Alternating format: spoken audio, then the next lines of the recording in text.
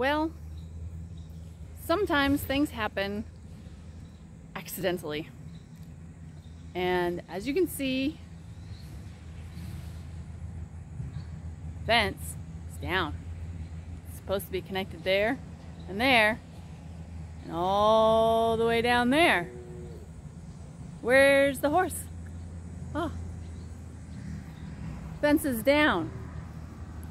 Horse is over there.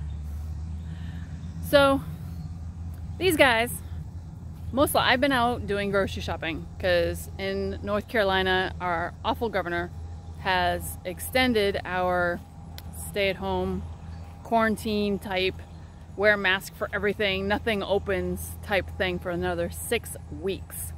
So that makes nine weeks in phase two where our state isn't opening yet because he's being a jerk about it. So what I do is I go out to the butcher shop and I buy food that's going to cover all of our weeks.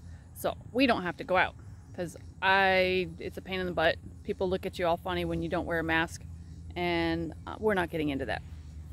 So today I went off to the butcher shop and bought six weeks worth of beef and turkey and chicken and everything.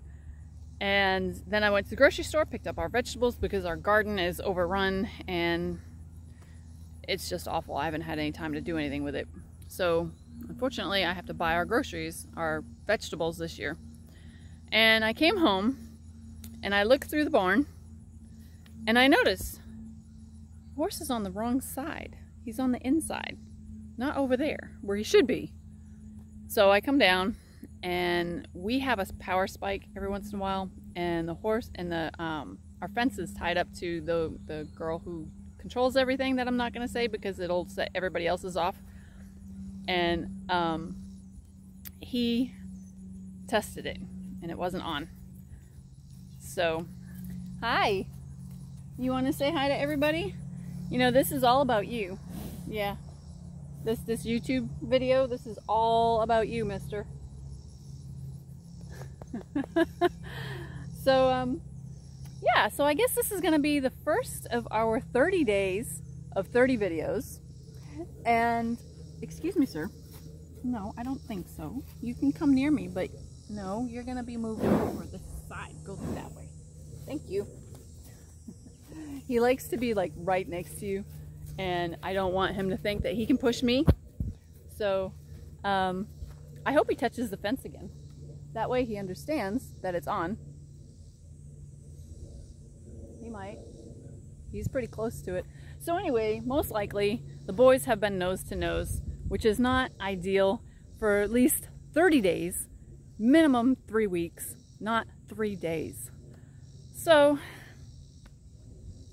I guess what's done is done. Um, it's a very good thing that we were able to get that uh, blood test done to make sure that um, he is not fighting any bacterial infections.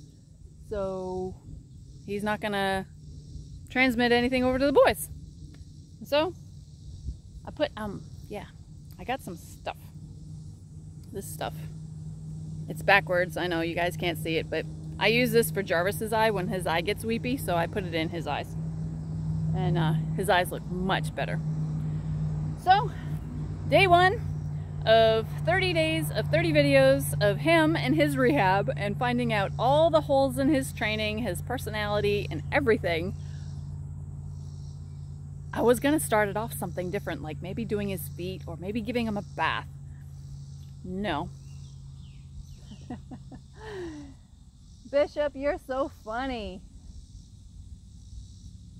Oh well, he got out. Day one, it's over. We'll see you guys tomorrow.